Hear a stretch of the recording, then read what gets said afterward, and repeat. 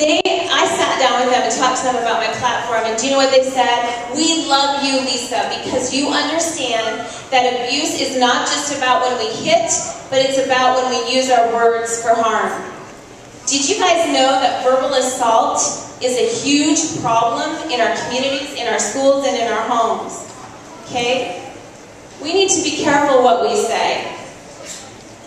And if someone is saying mean things to you at home, school, you need to talk to someone.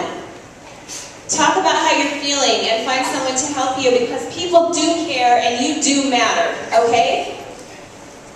But I want you guys today to promise me something. Put your hand up if you're ready to promise.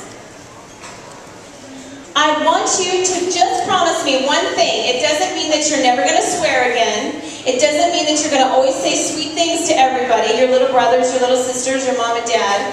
It simply means that you're going to start thinking before you open your mouth. Who's ready to start thinking before they open their mouth? Perfect.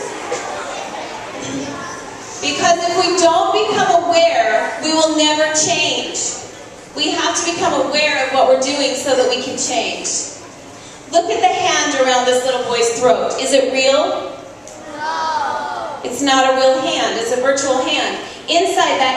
I don't know if you can see it, but it's filled, it's filled with negative, hurtful words, right? Things like, you idiot, you're a brat,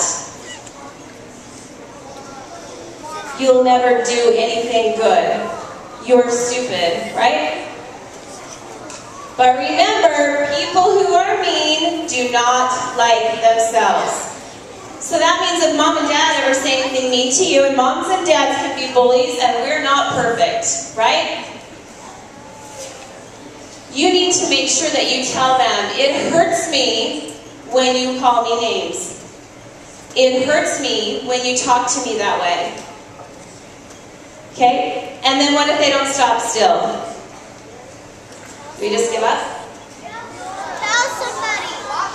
Let me tell you, you're like a superhero. Okay, I'm going to teach you this right now. When you are at home and somebody says something cruel to you, an older brother, an older sister, a younger brother or sister, I want you, like Captain America, to put up your shield. You're going to put up that shield because you are not going to own those words that people are putting on you. You reject them. Your shield is going to protect you and going to bounce those words right off you. Believe it, it will work. If you believe it, it will work. Don't let anybody make you feel bad about yourself. You are your own creation and you can create your life.